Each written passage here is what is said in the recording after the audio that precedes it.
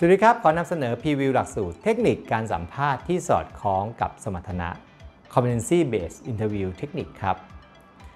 หลายท่านคงทราบแล้วนะครับว่าการสัมภาษณ์เป็นหัวใจสำคัญที่จะทำให้เรา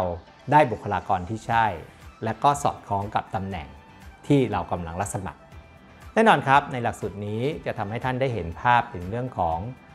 การคัดเลือก หรือการเลือกสรรบุคลากรที่ใช่ที่สอดคล้องกับสมรรถนะของเขา ไม่ว่าจะเป็นความรู้ความสามารถ ไม่ว่าจะเป็นเรื่องกรอบความคิด ไม่ว่าจะเป็นคุณค่าในตัวเขาเอง มีกระบวนการในการสรรหาบุคลากร ให้กับท่านได้เรียนรู้ทำให้ท่านเห็นรูปแบบที่จะไปเตรียมตัว เป็นเทคนิคการสัมภาษณ์ด้วยโมเดลต่างๆ ไม่ว่าจะเป็น STAR Model SOA Model Competency Based Interview นี้สามารถที่จะเชื่อมไปที่เรื่องของเหตุการณ์ในการแก้ปัญหา เราเรียกว่า conceptual thinking model นะครับ หรือเป็น leadership model แม้กระทั่งการ coaching model ครับ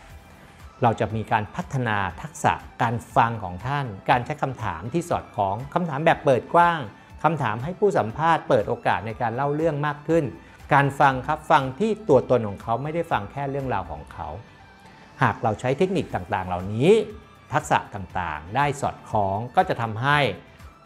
องค์กรสามารถประหยัดค่าใช้จ่ายในการสัมภาษณ์ เราได้บุคลากรที่ใช่ turnover ขององค์กรก็น้อยลง ดังนั้นหลักสูตรนี้จึงเหมาะที่สำหรับการพัฒนาตัวเราเองในฐานะผู้สัมภาษณ์อย่างมืออาชีพในสไตล์ของเราครับ